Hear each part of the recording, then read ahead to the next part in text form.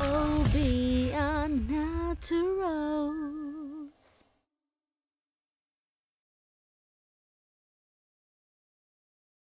Is what is a sulfate per, per se?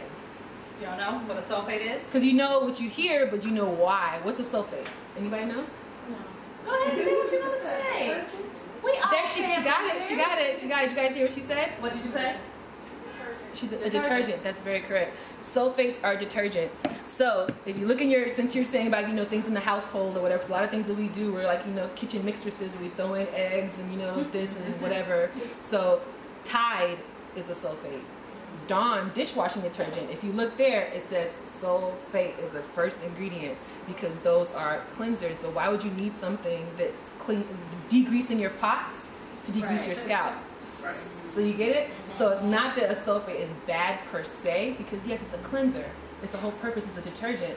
But we don't need to clean everything off of our scalp to where it's like sandpaper afterwards and you're starting all over. That's the reason why. So sometimes you do need to clarify your hair, but you can clarify your hair with more natural things like apple cider vinegar rinses and things like that.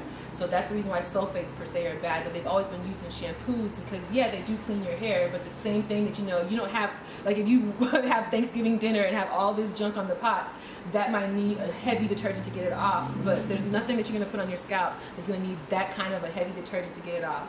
And that's why sulfates are bad for us because even the normal, uh, okay, the same way, this is online, you know, like, uh, Tell me in my ear and I'll, I'll think of something. baby sleeping anyways. You know they say don't use like you know like a douche to like Mhm. clean down there because it throws off your pH or whatever.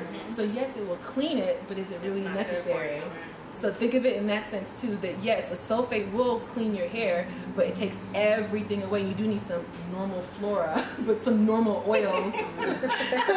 Sorry, on your scalp. I want to make sure that people understand. That's why I I'm. I'm 'Cause it's fine like- with me. It's, I funny, it. it's funny because everybody will understand everything Yes, else but their, right. their hair. They'll know what to do to make sure that they're clean down there, but they have no idea to know what to do to make sure that they're clean. So talk, back to the shampooing. OB on Naturals.